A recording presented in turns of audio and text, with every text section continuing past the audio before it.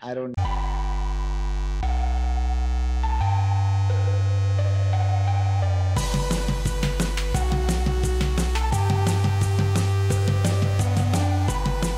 Welcome once again, mutants and humans, and even the evolved uh, technarchy. If you, if you're so far in your evolutionary uh, uh, pa- evolutionary like uh, future, or your path is so high, you're so woke that you've already The ascended? ascended. Yeah, you've already ascended. Um, welcome, you you folk as well. I'm sure there's no point in you listening to us, emotional apes, but enjoy. Um, we are here today talking about New Mutants issue number two. Uh, I love the New Mutants run so far. What is your feelings on New Mutants so far, Danny? I I like New Mutants, but not for New Mutants. I like it for like the Starjammer. Like Yeah, I like it for the Imperial happening around. Guard. Yes, the the greater universe, the greater like Marvel. uh I guess you could say space happenings and all that. exactly. Like that's why I like New Mutants is a lot of that stuff. The New Mutants characters themselves are kind of uh, individually people like uh, Douglas has its uh, amuse, amusing sides and like Magik is awesome. Yeah, But you know, for the rest of them, I'm kind of just like, ah, whatever. And I, I, I never really got behind the New Mutants comic originally. I liked the Legion stuff, but like the characters and a lot of those like plots were kind of campy from the '80s, and they just didn't really pull me as much as like the core X Men team. But I got what they were going for. They were trying to be the new generation mutants, and that was in the '80s. And it, I came to a strange realization when reading this. I mean, shouldn't like a lot of these like New Mutants characters be almost like 50? Like, yeah, they were a team that formed in 1982, I believe, and most of them were teenagers. Like I think the oldest one was like 17, and that was in 1980. So like I guess with the you know exception of people like Magik who lived in limbo and Douglas who died and got resurrected and I don't even know what to say about Mondo. like I'll, Oh don't even God. reference him.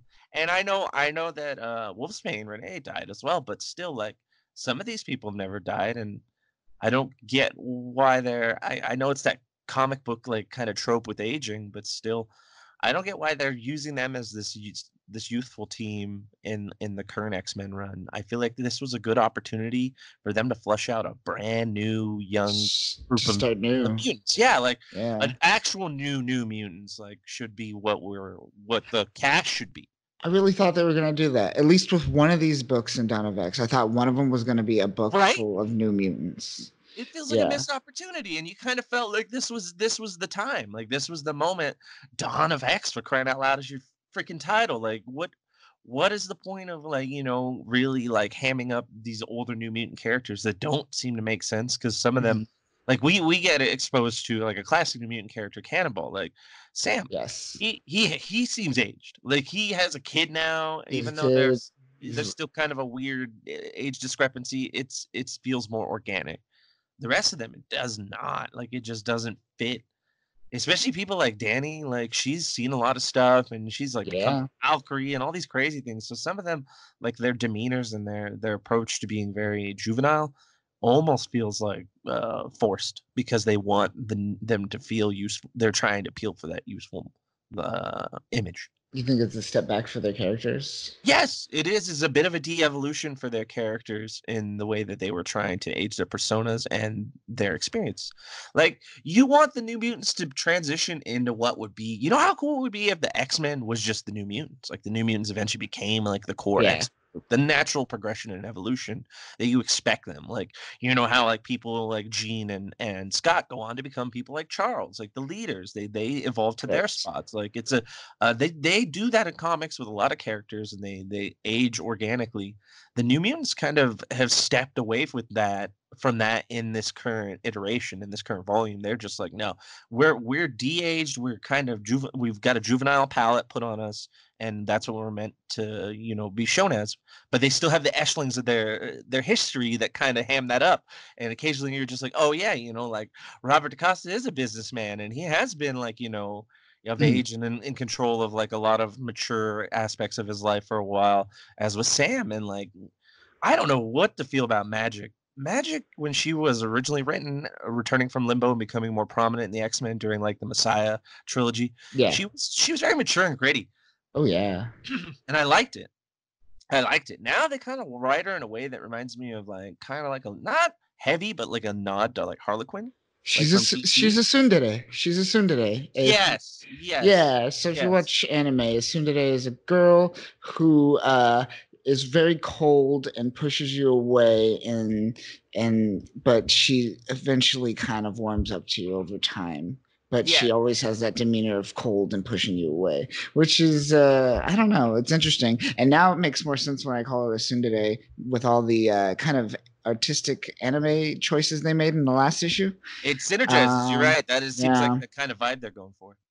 so maybe that's what what's what's going on with her but um right she's seen some shit she should be like very almost like stoic and like i don't have have time to deal with all this nonsense almost Yeah, like she think? normally has like a greater like um objective. I remember when she hustled the New Mutants into getting back together and getting Legion so so they could go and kill the old gods because she had a vendetta against them.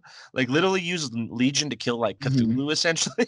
yeah and that was dope. And I like that. This whole like digressing her into like that type of character arc or like arc or like archetype is it's just it's it's another de-evolution. And that's my biggest problem with New Mutants. But overall, like I still like the setting. I like the comedy. Mhm. I like the the nods on some of their characters. But there are a few things here that like just don't fit with the con- the canon and the chronology and how the characters were supposed to grow organically. But I'm loving it. I'm still loving it. I'm still very like yeah my qualms with it are so small compared to like the awesome like things that they give us and and the way that the pacing goes and the writing. And I mean overall like you're really getting something that's that's still Hickman, so I'm happy. it's hickman at the helm on this one Yeah, but he's doing the writing on this one. He's not leasing it to anybody. He's like, I want to write New Mutants, and that's why I can understand some of the the canon like overlooking because Hickman does do that in his own unique way. He will he will fucks with the canon some, but he usually keeps it clean in the end. So I give it more of a pass, and I'm I'm still thumbs up all the way on New Mutants. awesome um penciled by rod reese rod Uh, rice reese I think that was rice yeah. Reyes? Reyes, Reyes. Oh, Reyes. Yeah, that makes Yeah. more sense.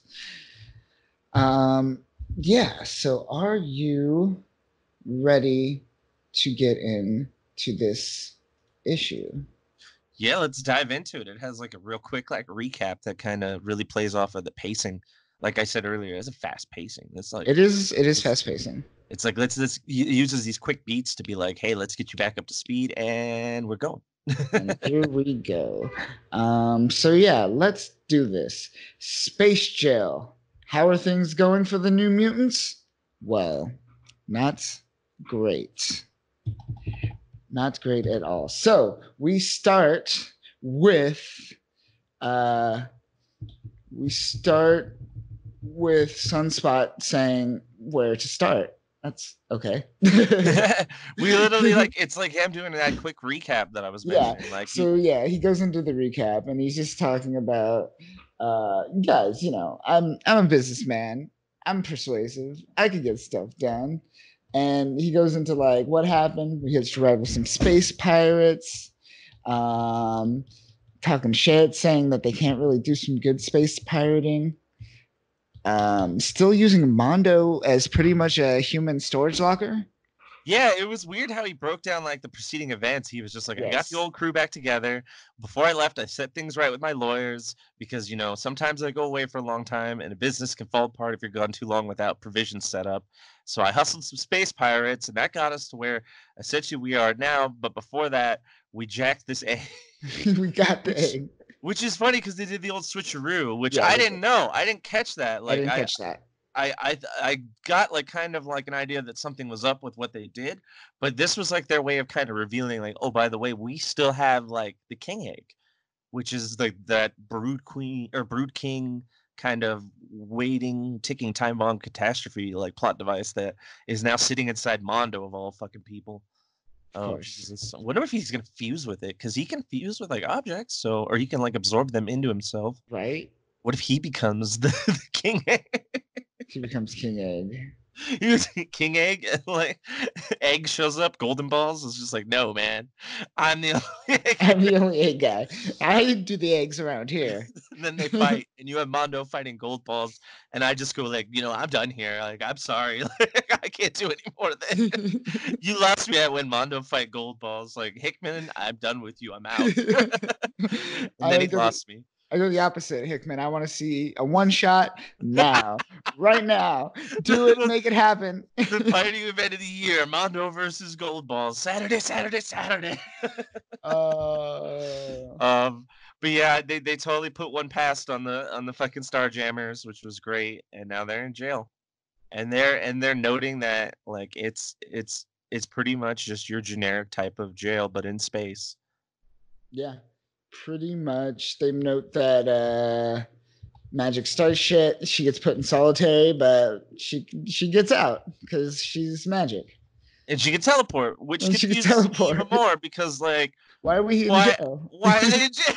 it happens, right? right? they kind of gloss over that real quick. They're like, yeah, that's oh, Moving not, on, I bought I, the best space lawyer money to buy. And I'm like, wait, what? Whoa, go why back. do you need the space lawyer? Just teleport the fuck out. Like, how did you miss this? Like, yeah. I, I don't know if, if that was like, an, I almost felt like that was a tongue in cheek thing for like Hickman where he was trying to like you know how um Dawn of X, like the actual X Men issues, mm-hmm. have like that campy like '80s sitcom feel since like issue one, where it's like the family vibe and all that. Like it's like an '80s sitcom family.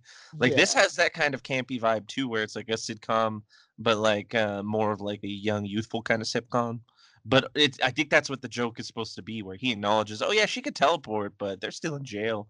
Like it's like there's a bit of a fourth wall so, thing kind of going on. Yeah. Plus they had to get to Sam somehow.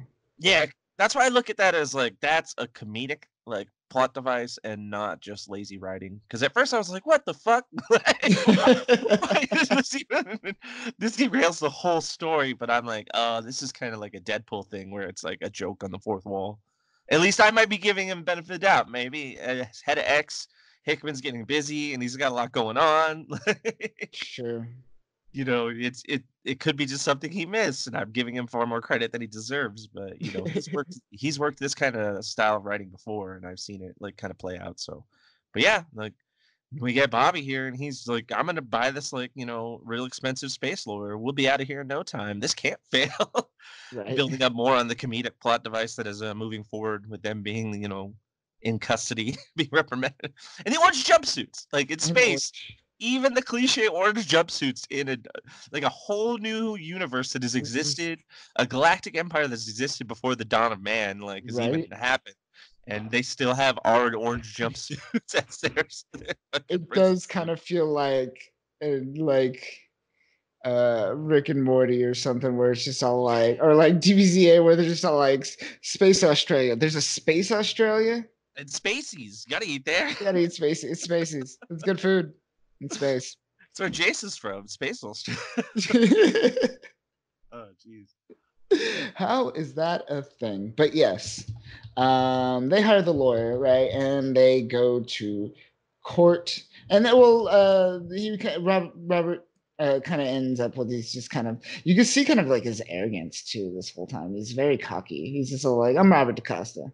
Well, he's a rich businessman. He's like throwing money at yeah. all of his problems, and it's like been a like completely like a, uh, a foolproof plan from the get go. Like, oh, can we take a moment though to note? Look at that. Do you see those like uh jurors in the back? Uh, yes. Yeah. Oh, yeah. There's like one of them that looks like right out of Star Wars, like one of those Kamino cloners with the long head. It does. Yeah, I see that. it's like what the fuck? I saw that right away, and I was like, "Oh man, Disney, you're you're just resting on your properties now." yeah, they are. They're like, "What are we putting there? I don't know. Draw something quick."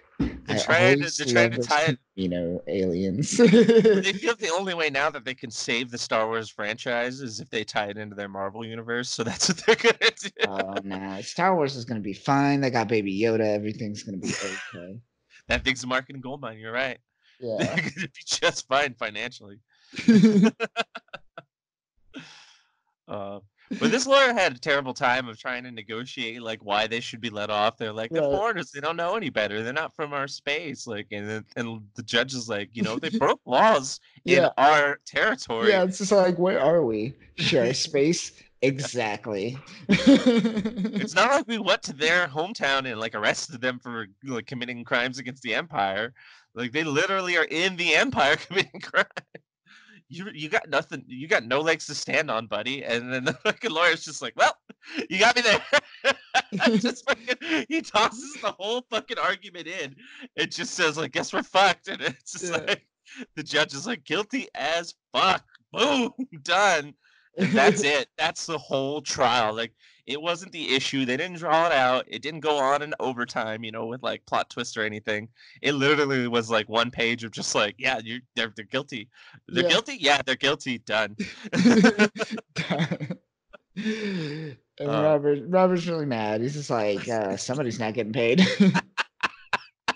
and this weird fucking like, I want to say like iguana esque lawyer is just like, ah, damn. He's like, sorry, I did my best.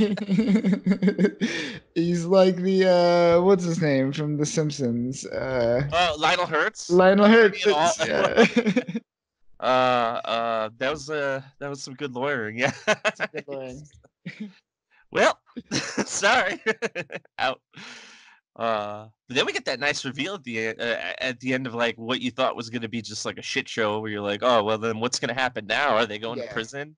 And it's just like, no, none of this really matters because you know Sam's here. They've been remanded over. Like the lawyer pa- or the judge passed down his like sentence where they remanded like indefinitely to Yeah. imperial like Shiar custody, and the people who look over them are none other than Sam and his his new you know baby mama. Baby Mama Isabel Kane. Um, Smasher. New well, I guess like the the current Smasher because there was like a fifth Smasher that was like a monster, but I think they just shared the name and not the origin. She's the one that actually is carrying the current Smasher mantle that throws all the way back to the original Smasher from the OG, like Dave Cockrum and fucking um, gosh, who's that? Chris Claremont, yeah, Dave Cockrum and Chris Yeah. Claremont invented the Yeah. Imperial Guard, so like the OG Smasher, written by Yeah. him. She's like the descendant, current descendant of it. Also a human. Also human, and she's the sub. Uh, what is it called? The uh, she's part of the Shi'ar Imperial Guard. Yeah, Uh, sub guardian. only human, only human to serve as, as like a current like Imperial Guard member. Which is great. Maybe in the past they had other humans, but from what I know, that's a rare thing. And we talked about the nonsense that's already kind of tied from that because she's like from Ohio, and they did this weird like straight up like kind of uh, Green Lantern origin story where like it's like her becoming Smasher is tied to her finding the goggles after the that current Smasher like crash lands and dies. It's it's so so Green Lantern like uh, esque in its like in its design, and then they they have her become an Avenger, which was weird, and then now she's back in the Imperial Guard in Shi'ar space, which makes sense because like her being an Imperial Guard on Earth is makes zero sense, seeing as Shi'ar space is like light years away. right. It's like at that point, what are you even guarding? yeah. yeah. The idea, she's like, don't talk bad about the Imperial Guard while I'm around. Do you do you understand the backstory about her and Sam having a kid? Because like that was apparently like a couple years ago that storyline came to fruition. not. I remember them showing up in New Avengers, right? I believe so because after the whole like fallout with the Age of X going into Mhm. A A plus X, then like all new, all different Avengers, where they started shoehorning in the X Men characters because they were just like, we'll force you to like the Avengers by putting the X Men in it, ha ha. And that still didn't work, but I mean, you know, Cannonball got to become an Avenger in his own right, which was one of the few characters that it did kind of work for. He felt like when Beast transitioned into the Avengers, and it felt more organic, more natural instead of like fisted in but uh yeah i guess like they they met through that and then went on to have a kid at some point over the the story arc that happened the last two years Interesting. Uh, I believe it's in the Infinity Run. Oh. Uh, so I guess uh, during the uh, Builder War, uh, Smasher joined the Avengers, um, and that's where they met Sam, or she met, yeah, yeah okay so Sam. her and Cannonball hooked up through that started dating then. Alright.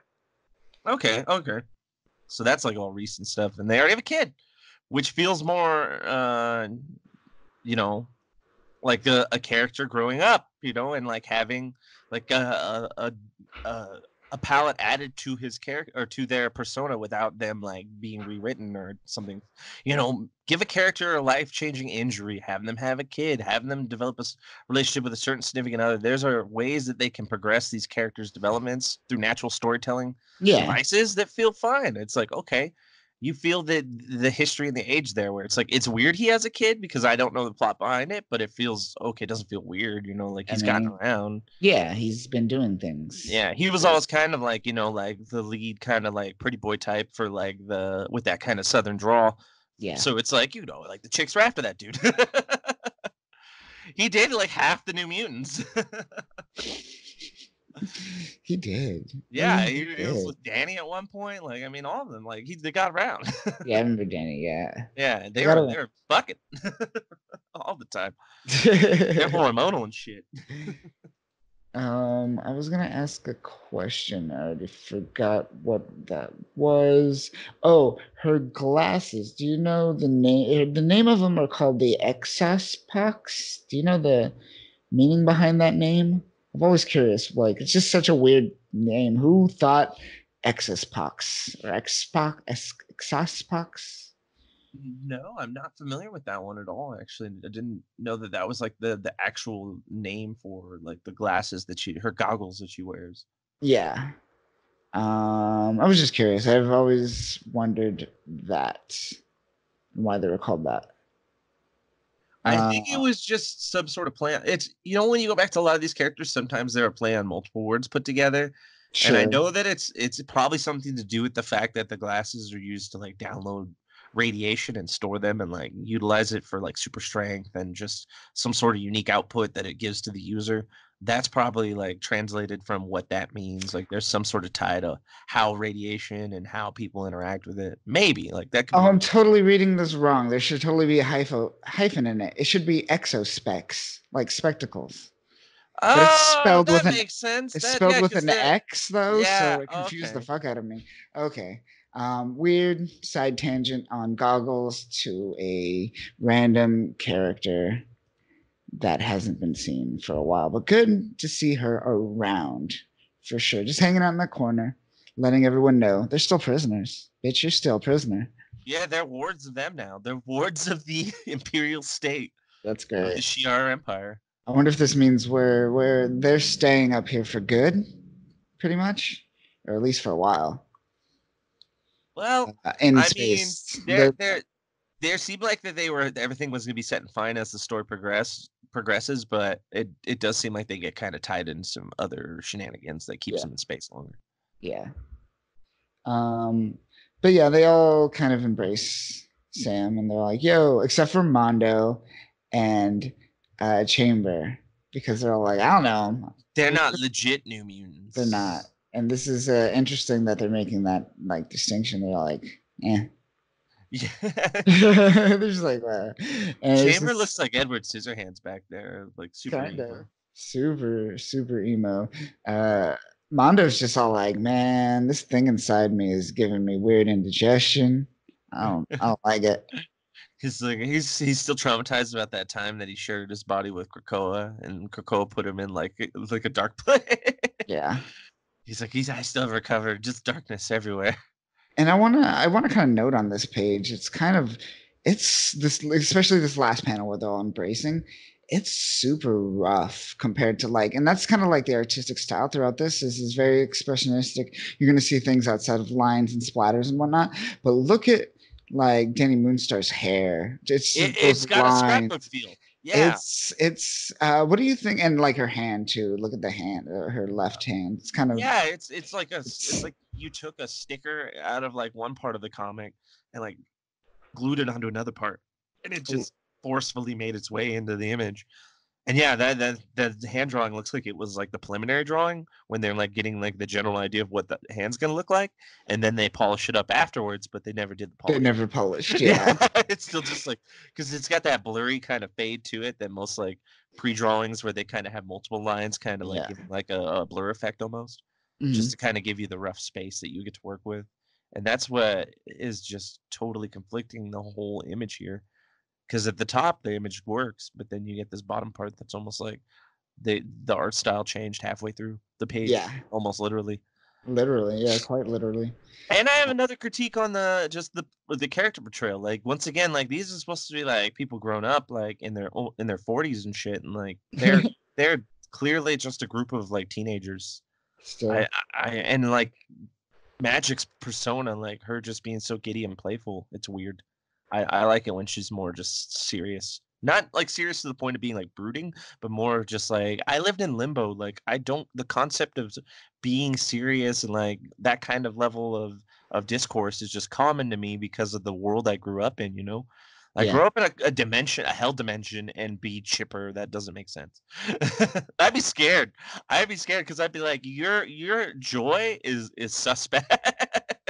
you should not be that happy for someone who grew up in like a hell dimension. Like, what are you thinking about right now? Like, are you thinking about murder? Is that where your joy comes from?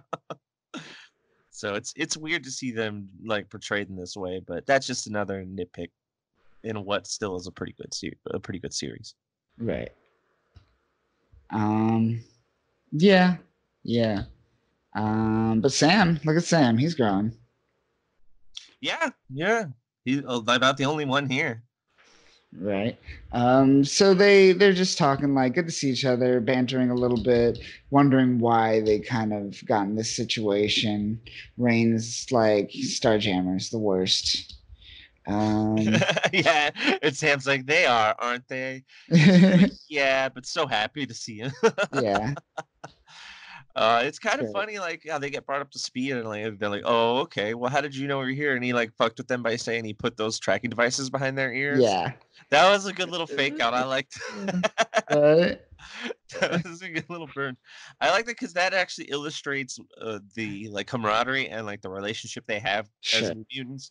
I at least appreciate that Hickman's flushing that out. Like they they do have history in that way, and that they do have an understanding with each other where they can fuck with each other and know how to fuck with each other. Yes. That's something only real friends and people who grow up get that. kind of Exactly. Yeah. Like that's a real thing. Like that's that's kudos to him for actually pulling that out. Because like a lot of these other things kind of make you confused about them and you're like you're like who are these people? They don't seem the right age. Some of their motivations are different, but it's like at least their camaraderie and like character interactions fit. And they feel appropriate. hmm Yeah. Um, dialogue's great between them. The banter's good. It's it definitely feels real, like they've been friends for a while. Absolutely. Um, but uh, Sam mentions, yeah, we just got a message from your lawyer, and he, uh, even uh, Karma's just all like, she was gullible. She's like, wait, there's, I think I feel it. It's in my ear now. Yeah, she was freaking out about it 'cause he's Yeah. like, he's like, except for you, Zan, we put it behind your left ear, and she's like, oh my god, and he's like, dude, that's not. We we we do the lawyer. It's it's just chill out. I like how they razz him about the lawyer too because they say that the lawyer was literally like the worst one money could buy, and Bobby was constantly under the understanding that he got the best lawyer money could buy. That's ridiculous. Oh man. But yeah, like um they they pretty much all get caught up to speed on like Uh-huh. everything and they're they're all pretty good to go, but Bobby's still kind of miffed because he's like brooding that him and Sam have have drifted and he feels like that that you know that there there's a little bit of beef between him, but that all gets justified real quick when his wife just decks him in the face. yeah, that's great. This is like, can someone knock some sense into this boy? And it just wham, and it's like, okay, okay.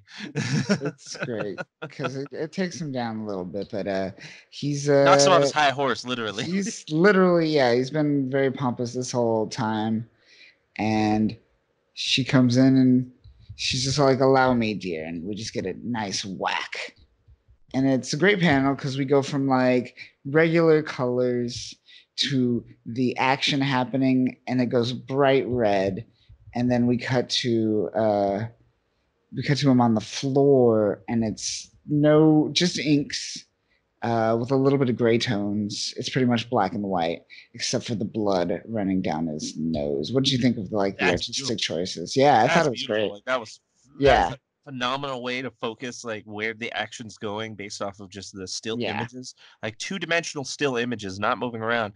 Your eyes are bouncing like from left to right, to down to up, and you're Mhm. falling and all around. You can feel it play out in real time, just like wham, and there's the blood. And what a cool way to accent the blood with just that monotone, like black and white with one color. Yes. I like that. I like that. See, there's parts of this artwork that really work, and then there are Yeah. parts you're just like, whoa, Oh yeah. you got kind of collagey here. What's going on? Got a little crazy. It's like Someone- at one point, uh, like you were writing it, and then like someone's kid came in and started fucking. I mean, that's a bit of a harsh burn, but it feels that way. it does feel like that, honestly. It's a some compliment and an insult. A complisult. Enjoy it. oh, jeez. And uh essentially uh Isabel Kane is uh more mad about the fact that she had to get a babysitter that wasn't their regular babysitter. they make him so the brooding like new mother like trope. Right. He's just like is he's all pissed about like, like, I got a kid at home and I gotta deal with this shit. The lawyer called and woke the baby. You understand what I'm just that's, just- that's so funny. All the time I'll dress as like an Imperial Guard superhero. Like yeah. it's the comedy in this works so much just because of the scenarios as well. That's that's what's a lot of the humor really pulls from is just like look at this scenario, step back and really look at it, and it's it's just funny in its own right. Yeah. It is great. And she even like takes note that like Skrulls Skrulls shock troopers are laying siege to Shiara outposts and just she's naming like all these like things that are happening and then she's just like, but the fucking babysitter. Yeah, and I she was kind of remiss about those things too, because she was like, Yeah. People have the other Imperial guards there having a great time without me. Just talking about like this like military military excursions in locations where people are at war, and she's Yeah. like, I could have been there, but worst of all, you had to fucking upset the kid. kid takes that out on me. yeah. You had to hear her cry. oh man. and then we get uh we get Sam and we get uh we get Sam and uh, Sunspot and they they finally come to terms and they they make up and they're like yo good to see you good times what's up my nose is broke I think but what's up Yeah, I like it real quick. It was just like the the trial. It was just like real quick, all the moments just fast paced. Like trial over, reunite with Sam, punch to the face, everything's good. We're best friends again, and moving on. yeah A little Yeah. bit more of that weird art choice though. I still like it in this point though, where you see it works like where it's he's got that kind of like dot gradient in his purple but it, it it's it's good to illustrate the contrasting Mhm. point of views and like them the emotional spectrums that they're both rocking in that one panel that yeah i like those are unique like choices and i'm liking that I I, I. I hope that more of that stuff gets fleshed out in new mutants going forward because that i'm enjoying not so much the weird collage shit but this this choice i do appreciate. Yeah. Yeah. It's definitely he's taking risks and uh, most of the time they're working. Just sometimes just uh oh man that hair that hair. It's like i could do that. You want to see me do it? I'll do it right now. That's, that's a cakewalk. exactly. Um so and then they kind of head back where they they don't really say where they're heading at the moment do they they're just Yeah, like they- we're good we're out of here they're We going to out." go talk to essentially um, Smasher uh, loots that they're going to go talk to um, someone above her in the Imperial Guard to try to get a um, kind of reprimand them here to try to l- allow their their crimes to be redacted and they can kind of wash the plate with all this of all this nonsense. That's essentially they're just heading back to their ship, I believe, is what's going on, or at least their quarters of communication. Right. Okay. Uh, but then we cut to the Shi'ar Imperial Court, Star Sector 4 Criminal Processing Station. And it just seems like a copy of their uh, kind of like their court case and like all their legal documents from it. But at the end, we get uh, pretty much a little bit of snippet of uh, narration or a little bit of uh, yeah narration. According to a prearranged agreement with the Imperial High Council, the above defendants have been reprimanded, uh, remanded into the custody of an imperial guard to serve out the duration of their sentence, which is life sentence, by the way. Yeah. The court strongly recommends that their entire sentence is served, as while in custody, the defendants constantly displayed aggressive behavior and a severe disrespect of authority, and one of them tried to coerce and outright bribe every single officer he encountered. I wonder who that was. Yeah. Jesus. God damn. Of course he would. Of course he would. Yeah. Um, the court further orders that the defendant space lawyer be sanctioned for incompetence. He was literally the worst space lawyer money could buy. Yeah, exactly. Like he fucked that one. Up. Oh, but it's like, that hard. but it's like Robert's second mutation is just like I'm gonna throw money at all my problems just reactively, like reflexively. He will just throw money. Like Spider Man has his spider sense, and Robert has his money sense, where he's like just money. yeah. I like this though because this is more of like what they were saying with like uh, a lot of the stuff that the Starjammers were going into and how they label them and stuff. Like it's this is building like a very a very distinct mo uh, as the New Mutant of for the New Mutants for being troublemakers in this like part of the galaxy. Like mm-hmm. they're gonna become infamous in the way that the Starjammers are at this point. Yeah, they are. They're building like a reputation in space. Yeah, probably a negative one. exactly they're serious in their Imperium. They're just like, hey, like you know, we have laws and shit, and they're just like, we don't care. We're the new mutants. We're new, right? We get that new mutant smell. You've been new for forty years. Get yeah, over it. You're like that goddamn like you know fucking furniture store down the street that's like constantly going through like a, a grand opening or a going out of business sale. Pick one. it's like a guy who was the new iPad still, the third generation iPad that they called new iPad, and you're just all like, well, five years later, still calling that the new iPad? Yeah. It's ridiculous. Uh, um, so we cut to Shi'ar space, and they're going through a portal. It looks like like a warp, warp, a warp, or a hyperdrive portal. portal, kind of like the ones that they would have in like uh, Cowboy Bebop. Yes. Yeah. I forgot about those. Yeah, yeah, that actually does.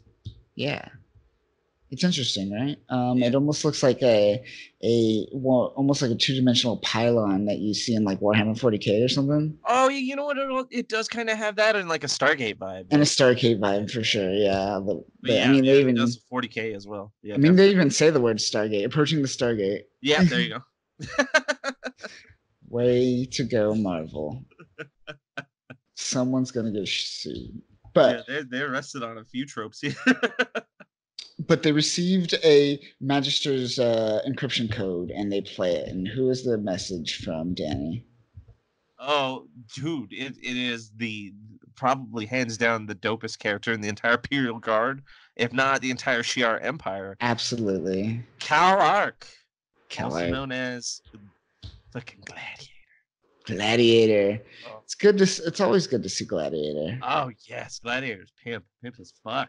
Yeah, love him. Um, he brings the he brings the trouble in anything he shows up in. He's just like, all right, I'm here to throw down. I'm Gladiator. I'm either gonna destroy this planet or I'm gonna destroy whoever's threatening like the Imperial Guard or whatever. Cause he's got that level of strength. Like he's like he's galactic in his strength and power. Right, and. uh what does he say? He's essentially saying uh, this encoded transmission. the orders are to execute them immediately and with vigor. Um, who is he referring to? Are they referring to the?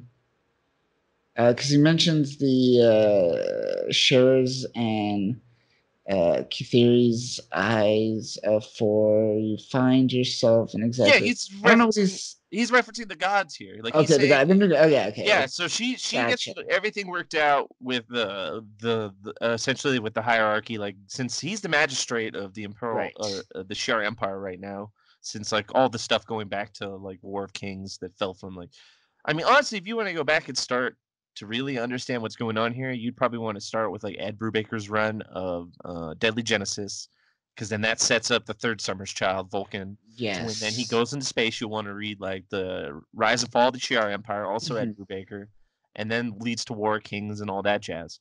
and that's how you get to having like Gladiator, who used to just be the leader of the Imperial Guard, stepping up and becoming the leader of just the Shi'ar Empire, and and that's still the current like. Well, by the end of this comic, some things change, but at this current point, that's the status quo for Gladiator and so she she pretty much gets him to smooth it all out because I mean she's an Imperial Guard member. He's both leader of the Shi'ar and a formal Imperial Guard leader, so she's got pretty good ties to him. He obviously knows the X Men and all their jazz, so that's mm-hmm. probably the easiest way for her to smooth it all over is just be like, "Well, Gladiator says it's okay, you guys are fine." But at the same time he re- he's making his whole reference about like you know thank the gods like that you're here because i have another mission that i need you to execute with extreme you know vigor and immediately as possible. And that's where the whole story kind of takes a twist and turn. It's like you know you think they're they're going to be you know pardoned and they're going to go back but instead the new yeah. mutants are now on another mission that kind of falls under the purview of her being an imperial guard member she has no choice, you know. Exactly. Like, this is this is her duty. Her this is her service. Like so because they're still tied to they're still on the ship with these people, the new mutants are along for the ride. Yep.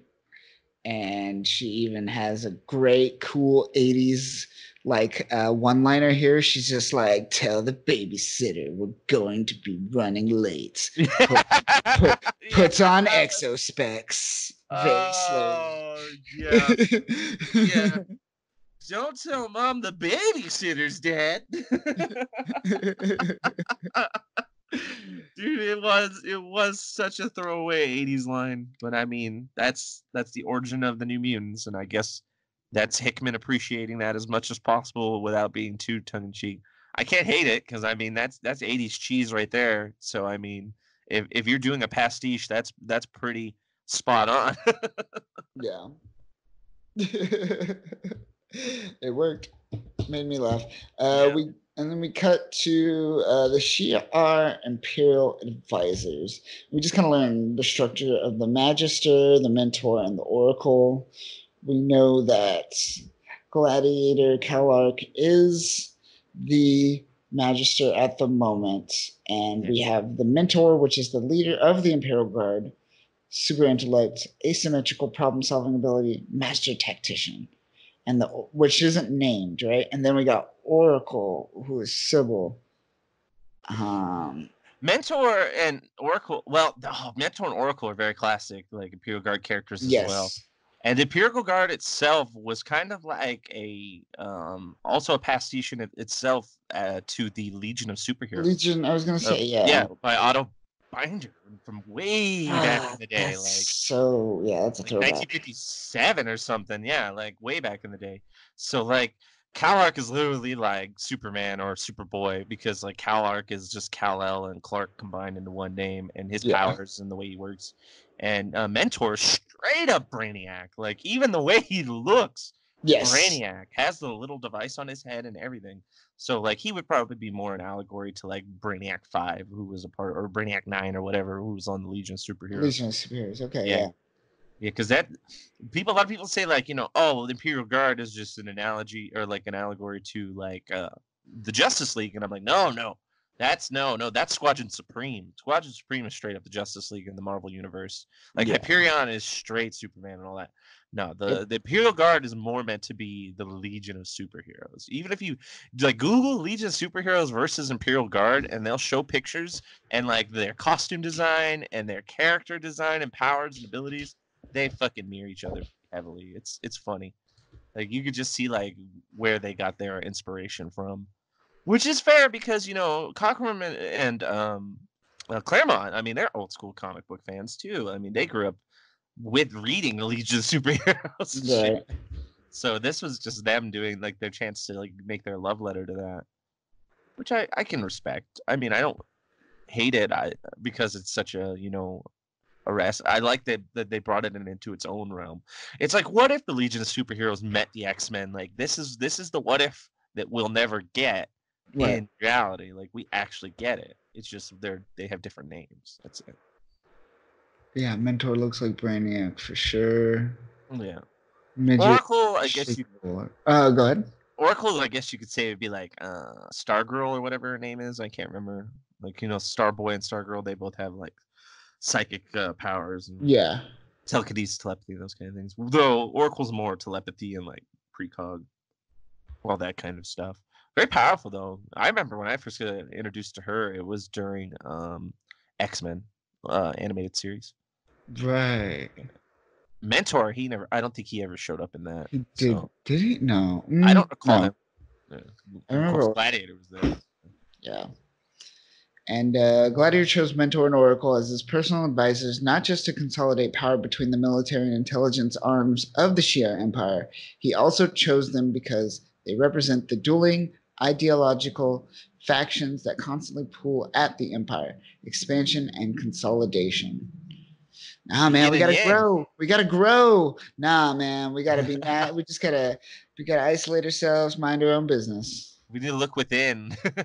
like, no, we need to look without. I like that. He created his own little yin and yang. Well, I mean, say what you will about Gladiator in general as being like a badass, just like superhero like type character, like uh, that Paragon archetype. He's also a great leader. Like everybody, even even like the stuff they discuss coming in these these next few pages, like they acknowledge that like, well, Gladiator works as the leader for the Shi'ar Empire because he's just an all around like perfect like person in his mind and in his power. I mean, literally can't lose because his strength is competence based. So if you can't shake his confidence, you can't shake him. Like he won't be able to be defeated. He'll just keep punching you until you, you're nothing. Like Superboy, he'll just probably eventually punch through reality. That happened in the Legion of Superheroes uh, like story arc and all that shit. Superboy went crazy and like punched through reality. How that works, I'll never understand, but you know. DC gets crazy. DC does get crazy. I Sometimes watched. even Marvel looks tame compared to that. Uh, don't get me started on Crisis. Let's move on quickly. uh, where do we? Okay, so we after that we cut to uh, them. I imagine they're on the ship and they're just hanging out. Rahne's sleeping. Some of them are chilling. The rest are playing what looks like poker with weird Ah, space uh, poker. Shi'ar space poker. Yeah. Look at those cards. Those are cool.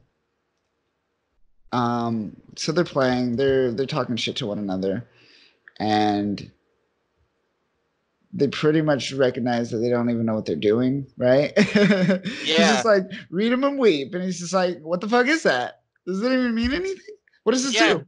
And they're like, I don't know, what are we playing? Any of these, like these symbols and stuff like that, and it seems like everyone's pretty much folded except um Chamber and, and Dani Moonstar. So they're they're going down uh toe and toe. They're both all in. And Dani says, Chambers like, I win. And Dani's like, No, I win because I I played this before and I know this is a winning hand. yeah.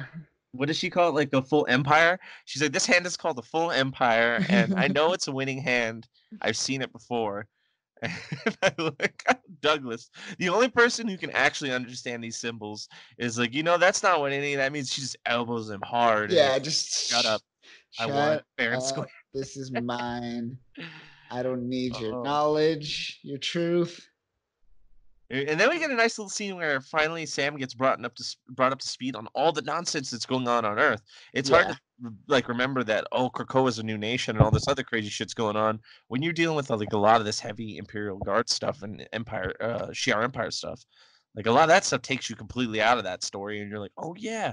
And they do it in kind of a funny way. They're like, "Oh, you got your own mutant language," and like, and Bobby just says, "Yeah, he he he did in Krakoa."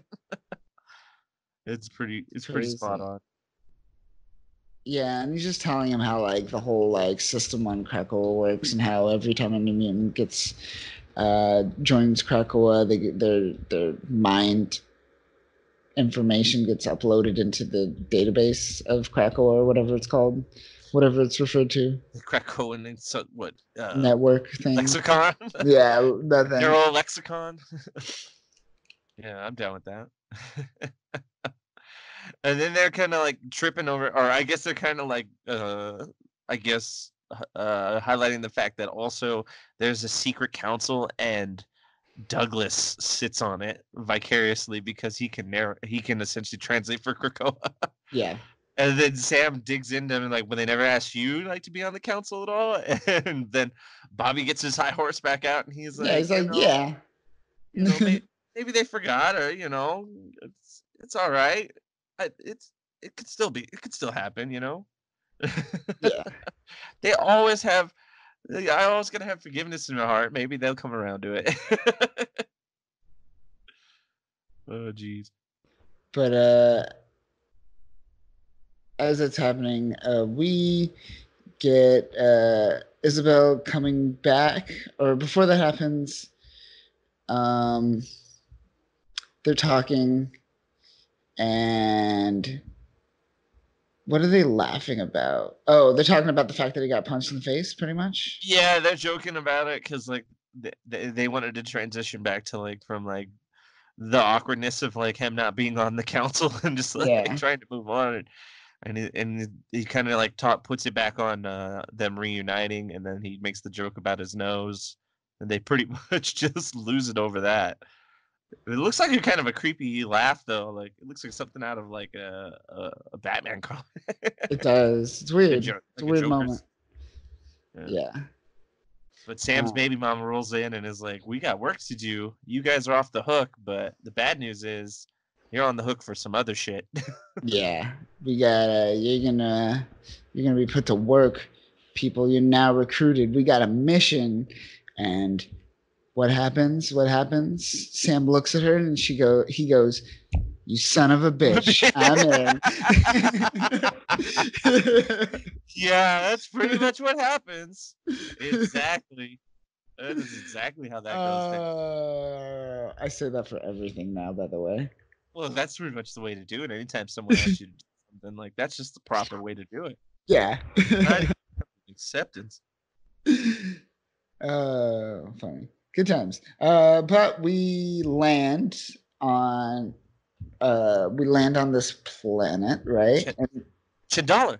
do we land on Shindala or do we cut away to Shindala? I thought they land on some other planet and then we cut to Shindala, or are they both I at think that's them leaving or arriving at some sort of planet. I think that might be them ar- since it's like swooping inward, Yeah, because that's what I'm getting with that. That's them arriving on some sort of outpost. yeah. Because she did make that comment about those outposts and all that kind of kind of stuff. So that's them arriving.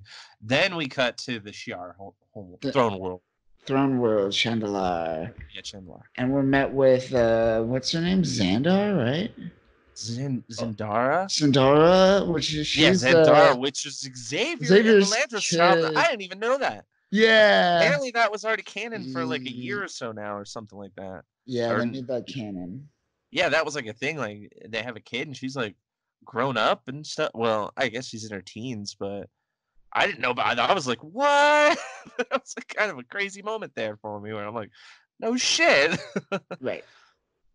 that really caught me by surprise. I was like, okay. But we cut to uh Oracle and uh or Mentor. Mentor and Yeah. Oracle. Mentor and Oracle. And she's just like these are complicated, you don't understand what's going on. And she's just all like and then um we find out that uh war like war's kind of like creeping up, more or less. Right? Yeah, they say that the war with the Titans, which I mean, I think they mean like the planet Titan with like where the like Thanos comes from, and like those, Yeah, those people. I think that's what they're talking about. They're talking about the Eternals? I believe that's what they. I'm not following a lot of the space like mythos of of like the current like Marvel stuff outside of the X Men. So maybe they're having like issues with the the the Eternals because that's what I when they say the Titans, I I assume that's what they mean, but maybe there's something else. Like maybe they mean the the Greek Titans. Who knows? This is Marvel we're talking about. yeah, It, it could be it could be a lot of things, but since they're saying it's an empire, and I know Titan is a, a place in space that is in the Marvel space mythos, that I think that's what they're going at.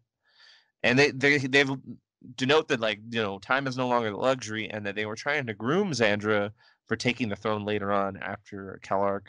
But apparently, since things are getting hectic and they're on the brink of like civil war in places, they need to consolidate the power of the throne, and that's why she's being brought up to you know up to bat. But she has reserves about it. She's just like, and that's what I was talking about earlier. Is like everybody acknowledges the the the Shi'ar Empire is in no better hands than Gladiator. Like he's Yeah. the strongest, the most determined, the the most loyal and just paladin of the empire because he will he when he led the Sh- Imperial Guard like he did everything for the empire he only rebelled when things got out of hand and went too far especially when Yeah. Vulcan was the one running the throne and all that nonsense but when Oh. D'Ken was in in charge you know even if Gladiator didn't like it he still did what he said until like he he supported Landra but once she got on the throne, then it was like you know all bets are off, and he's like totally like, all right, I'm 100% behind like the Empire again. So people respect him and they acknowledge his history and like the way he's displayed his honor and his nobility.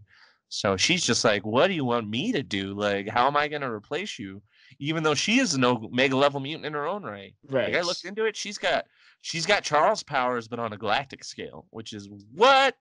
like, I knew that Charles could tap out through like the ethereal plane and like um you know going in, into those kind of ways or not ethereal plane. What is it with the the psychic plane of existence? The astral plane? Astral plane. Thank you. Yeah. I know he could go through that and like talk long distances, but apparently she could just like straight up. She's like Charles, but with a radius of the universe. Same. She could Yeah. just broadcast to everyone. yeah. And she's Shi'ar in, like in the race, like she's the Yeah. Shi'ar race, like the Avon She race. is. yeah. so so they have their natural abilities that come with that too like they're stronger straight up in the wiki it's like they lift like a ton of earth of earth's gravity they can lift in earth's gravity they can lift up to a ton in weight so that's pretty impressive in itself but the big thing is is because of uh, her lineage and that's really what it comes down to is it's not anything i don't think really even like due to the fact that she's part mutant or any of that which is like an interesting thing to note because remember in the future in like House of X and Powers of X, the majority of the mutant population is in the Shi'ar Empire, Mhm. and this is like a lot of the preluding of that.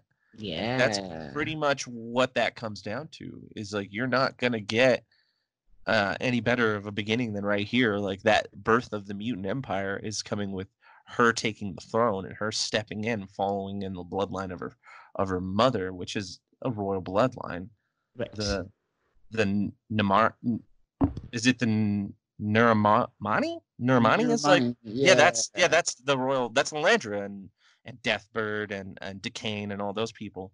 And that's what this is. Is this is political this is like a political doctrine in in truest form. Gladiator's like, I am amazing. I am great. I am like totally like, you know, Red Son Superman, like when he was born in like the the Russian Empire, and he's like, you know, when Yeah. Stalin dies, you know who's better who could do who could run Russia better or the USSR better than me? No one. So I'm gonna run it. But see, that's not Gladiator. He doesn't have that level of arrogance. He knows when to step down and like play politics. He could run it, but he wants he wants to avoid civil war, bloodshed, and fight infighting. And he's like, you know what? You have the royal bloodline. You have that, you know, ancestry. So I'm gonna put you on the throne because this is what's needed for for the populace and moving forward. Plus, he wants to play more of a strategic hand, being, you know, leader of the Imperial Guard again. He wants to be that royal advisor from the Imperial Guard while the Neramani sits on the throne to continue the family bloodline because then it's not contested. It's like, you know, just with uh, Exactly. Just with other history, uh, uh, other historical moments, you look at like bloodlines being fought over and you know civil wars being averted because certain people can get behind a, a royal bloodline easier than they can uh, a usurper. Always, that's just always how it's going to be. Even if the usurper's great, it's still you're going to have a lot of that lineage to fight through and this smooths that out. It's a, it's a good political maneuver. It shows why you know how well of a leader Gladiator really is, and Yeah. definitely the oh shit moment of the whole fucking book. I was just like, oh, Charles has a kid, and Charles's kid is the, Yeah. the Lamandra. They have she's the leader of the Imperial or the Shi'ar Empire. What's happening? like, there's a lot to digest. I'm like, wow, this And is like, yet- way more interesting than any of the other shit. and he emphasizes lineage and blood because uh, we're going to see it's alluding to the fact that yeah, it will be contested by these royal bloodlines because we cut back to the new mutants walking into this bunker, I guess, or like weird uh, trailer sat- satellite like It looks lab like a like a little satellite outpost, like a little like, Yeah. outpost. Very very low key, almost like a science station. And they're meant to meet a person in here. Yeah, then you find out what their secret mission is. They find out what their secret mission is, and we get a a, a, a, dagger, a lance thrown at the new mutants, and we find out it comes from Cal'syee Neramani, aka uh, what is her name? Deathbird. Deathbird. Yeah. Wow, it is right. Landra's sister, ex- Yes. Xandra's Xandra's mm, uh, aunt. Aunt. Auntie, Auntie, Auntie. Deathbird. Uh, Auntie Deathbird. Uh, she allied with MODOK at one point, didn't she? did and she also that that was the thing is is she was a plot device during the rise and fall of the Shi'ar Empire. The yes. whole the whole reason Vulcan got the throne is because he married Deathbird and yes. then due to that was able to instate himself as the magistrate or magistrates of the uh, the empire because of her lineage. That's how powerful that lineage is. He's a mutant out of nowhere, just coming in like, "Hey, I rule your empire because I, I'm banging Deathbird." yeah. And they all both they both became prison buddies. That was the funny thing is they got locked up in like the crazy Shi'ar Galactic prison, and he broke out and found her, and then was like realized who she was, and then they plotted together to like take down Lilandra and take over the Empire. And so now they're trying to avoid that though. They're doing this is deeper into like you said. He's talking about Gladiator's talking about the problems with lineage and Yeah. a lot of the bloodlines. So what he's doing to circumvent that and try to avoid these problems again is he wants to bring her Deathbird into the fold and use her to kind of mentor and be a direct advisor to Xandra as a way to try to counteract that infighting. You know, you keep your friends closer, Friends enemies close, yeah. closer kind of situation. And that's a brilliant maneuver. Like that's that totally makes sense. The problem is, is I don't know how well Deathbird's going to play along with that. Dude, On paper, it gonna sounds like play along at all. yeah, Kidding she's mm-hmm. gonna try and usurp like the se- she's gonna try and dig her her freaking talons, you know, pun intended, like right into this. Like she's literally gonna try and take control of it because that's always been her mentality. And she was too much like D'Ken. She was too power hungry. Too, uh, her her nobility and her lineage got to her head, so it made her kind of have a megalomaniac god complex, or I guess you could say like an infallible leader complex.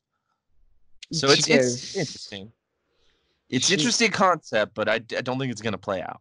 No, she even states, "Who else but the most savage, duplicitous, and truly violent person would be best for such a political task?"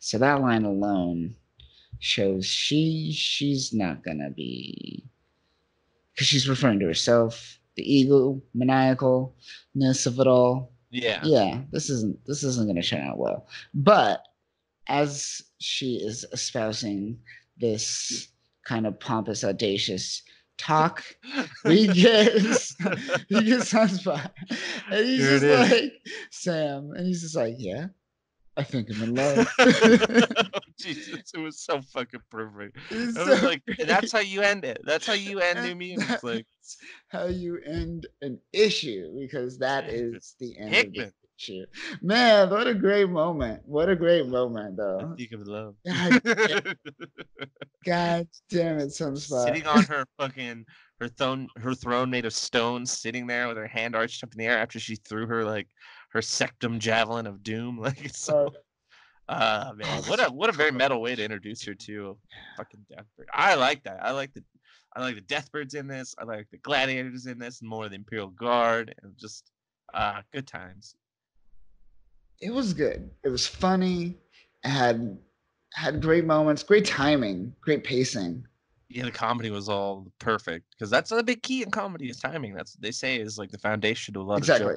Oh and yeah. the timing and the speed and pacing on this are all on point.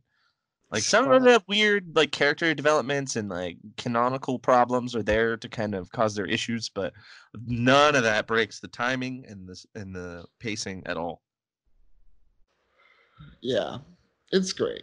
I enjoyed this. And it's it's like you said, it's just like you hit the ground running and it keeps going and then bam, it ends and you're just like, this is one of them where like even though we're following these very juvenile kids, I'm like, all right, well, what's gonna happen next? Yeah, exactly. Like their their weird displacement in this universe does not um, stymie or even roadblock any of the progression of the story. No. Like that that greater Shi'ar story and those other little subspots with the Starjammer and like the King's Egg, all that that stuff is still flowing along. So it's exactly. like we're all still in the same ballpark moving forward, and uh, it's it's great. It's I really love New Mutants. I'm I'm just as excited to read the New Mutants, the next New Mutants, as I am for X Force, and that blows my mind. That is that is kind of crazy. Um, what was your favorite moment in this issue? Um, oh, I I guess I would have to say uh, the most exciting moment would be the reveal of of Xandra and like her place and all that. But I'd have to say like the moment that just gave me the most joy was probably I have to say the end with with with Bobby and his his one liner like that that that pretty much was that left me on such a high note and such a positive note that it really like any any of the lower stuff of the rest of the the issue any of the negatives were immediately just overshadowed eclipsed by that moment like that moment really just came away from it with me and stuck with me heavily i just I, I laughed about it i just kept thinking about it over and over again and the place and how it fits in the greater in the greater part of the issue and it just is the perfect bookend and I, I think that was the most brilliant part of the entire of the entire issue is to end it on that note. Yeah. Um, do you think Chambers just here to make Mondo not or feel as bad because Mondo just seems to be here to be a walking MacGuffin? Yes, and yeah, the the Chamber's confusing because he almost seems like he's older than everyone, but he's Gen X, so he should be younger. Yeah. So it's I don't I I so I, I don't know if it was Sapolsky or Hickman's head of this, and he's just one of the people in charge who are really like an old school fan of like Generation X was like, let's do a Generation X issue, and then people were like, ah, and then it started to become like a reality where they're like, yeah, nobody wants a Generation X issue, like no one gives a shit about that stuff, like who cares, and why would we want to bring that back you know in like modern time? Like it's 2020 so what are we going to do? So this is like the one little nod where they're like well let's just bring chamber you know that's but see he's weird because we have jubilee and he's from the same you know age group and the same di- uh, demographic you know.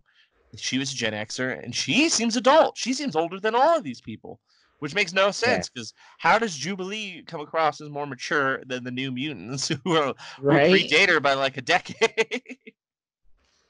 Insane. I don't get the tone sometimes. Or I guess the maturity of these children. yeah their their character like weight is loose in in the universe. Like it doesn't feel like they're weighed they hold close to the ground. Like they're not mm-hmm. grounded. They're they're just like at any moment they could float away because they're so loosely defined like their history and who they are. They almost feel like props and less like people.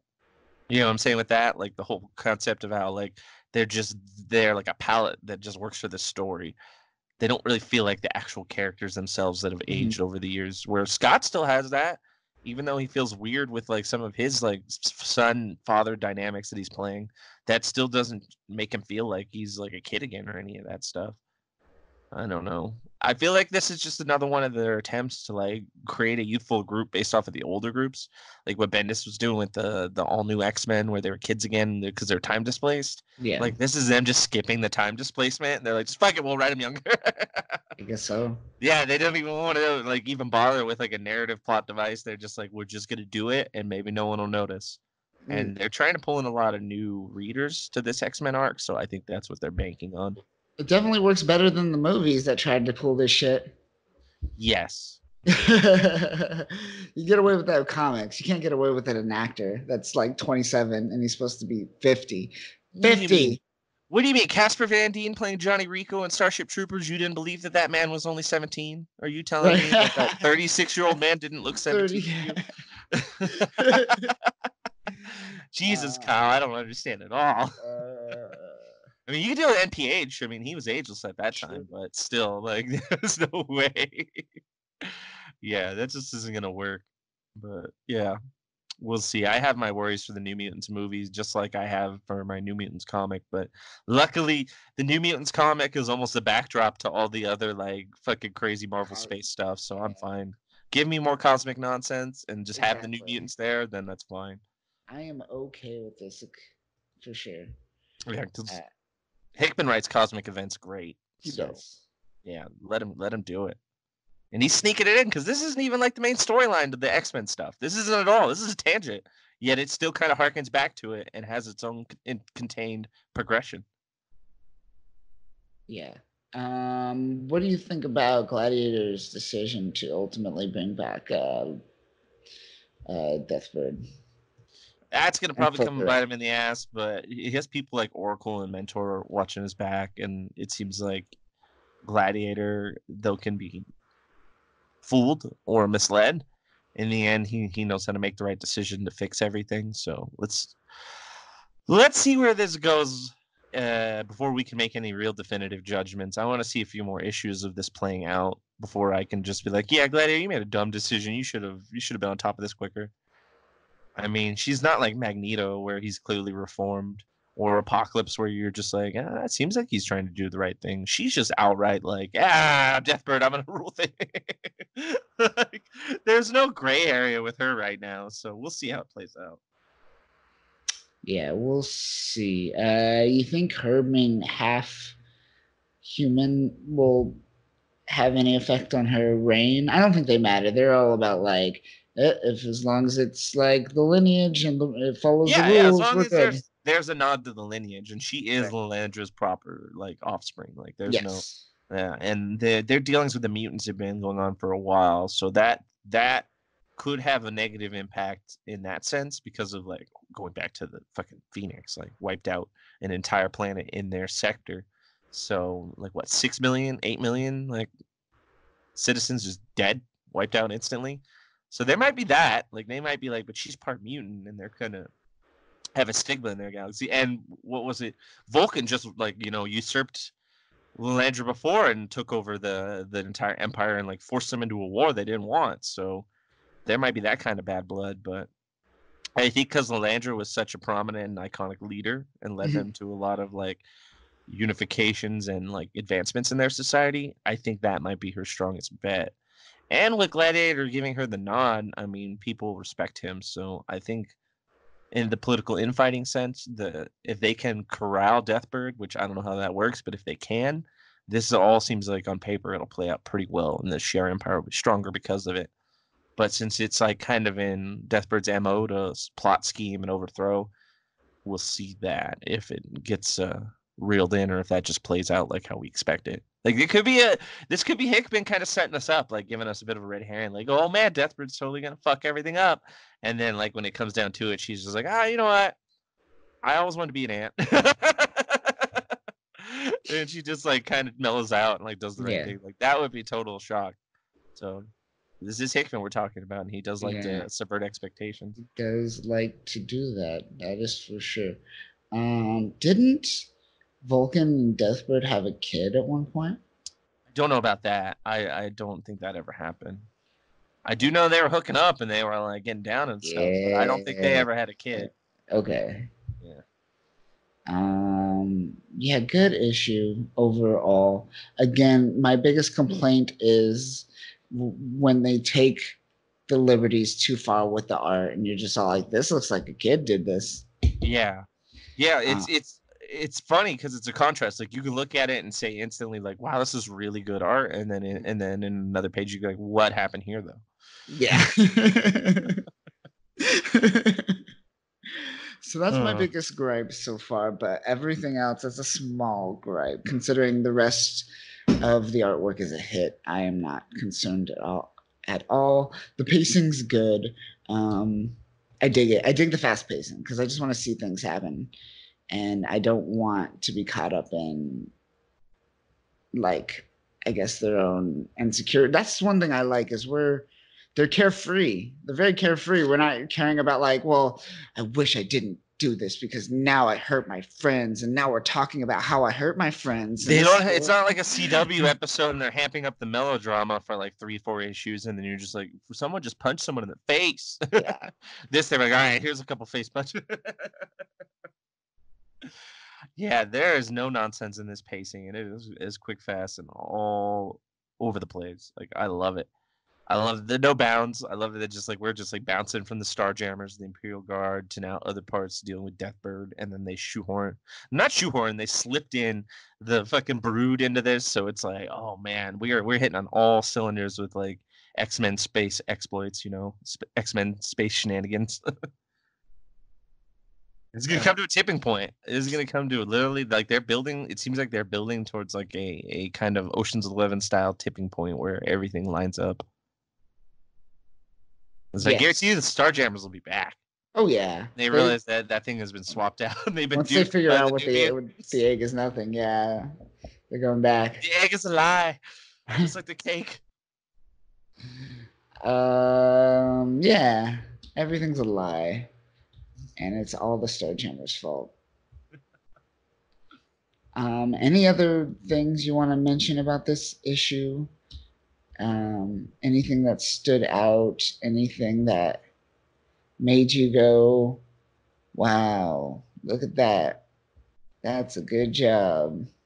I mean, not not to I mean not to just always wank Hickman, but like I said, we had our, our gripes with like ah. a few things here and there, and then there were some on the art end, there were some on just like the character development end, but those those are just the small critiques for the sake of critiquing and Sure. having like a devil's advocate approach. Overall, I I'm 100% excited to read Yes. issue three and and that is that is the big takeaway from this is that i am continuously excited to read more new mutants and that is that is a, a shocking fact within itself seeing Bobby Sam and Smasher together is pretty cool.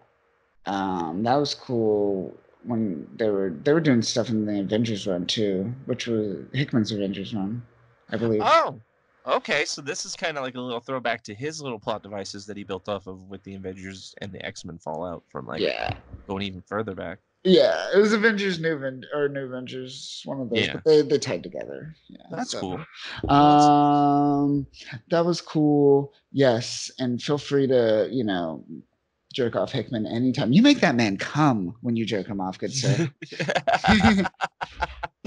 i take him to completion that's what i do i don't leave him hanging yes. you know he leaves me satisfied so i try to do the same yeah, uh, come on now. You don't want to be like Tom King. You don't want to blue ball him. And Oh oh, god, Tom fuck. blue ball. He deserves all the blue balls he could ever get. Uh, Oh man, that dude's got some premature problems right there. That's you know what he he he, blew his load quick. Where he's just like, I'm gonna start right back. I kill Alfred. You're just like, whoa, whoa, dude, just it. pace He it. got- Like, it's a slow burn with that one. What are you doing? Yeah, Tom King got a hot girlfriend, like one that's way above his league, and he's just like, I don't, I don't know what to do with this. yeah, he's he tried to like appreciate her, like not not like overplay his hand. But then you know when things moved on, it's like I'm gonna hand this girl off to the next guy, and he's just like I'm gonna wreck this shit. I'm Yeah. gonna fucking just uh, I'm gonna abuse her. It got dark. I was just like I'm not into this kind of porn. Uh, uh, but that'll do it for this week This week on Tom King's Batman. Tom King's Batman. Uh, that'll do it for podcast of X this week. I am Dan. I'm Kyle. I'm not Danny. You're Danny. Uh, we're on Instagram. We're on the socials. Uh, send us a message on Anchor if you're on Anchor. Um, and next week we are hopping into X Force issue number two. Are you ready for that one? Oh, yes, I am quite excited for that one. That's that one is awesome. Yes. Ooh, we got all that build up with that nonsense with Charles getting shot and like them going to try to figure out what's going on with Mhm. Domino, and now we get to see the playoff. We can Yeah. see Wolverine do what he does best. Like you're gonna get Mhm. iconic, like Yeah, Dark are. Phoenix saga, like Wolverine picking himself up, ready to fuck up the Hellfire Club kind of Wolverine. So get ready for that.